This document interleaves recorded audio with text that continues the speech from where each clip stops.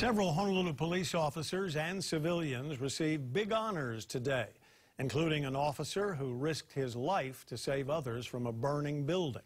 Howard Dashefsky joins us with more. Howard? Well, Joe, it's been four months since flames ripped through several floors of the Marco Polo building, killing four people. A day many of us, including Officer Keola Kopa, will never forget. Officer Kopa was at, at another call across the street when a passerby flagged him down and pointed out the fire.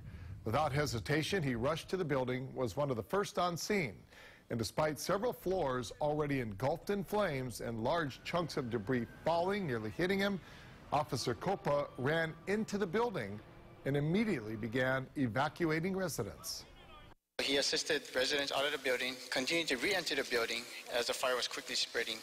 At one point, the heat and the smoke was so intense that it made, him, it made it difficult for him to breathe. It is with great pride that I introduce to you the Honolulu Police Department's War Gold Medal of Valor to Officer Keola Kopa. Just seeing the look on the families' faces after, you know, they found their loved ones that was uh, back out and safe, I think that was the most rewarding thing for all of us together. The cause of the fire, which has been described as the worst fire in state history, remains unknown.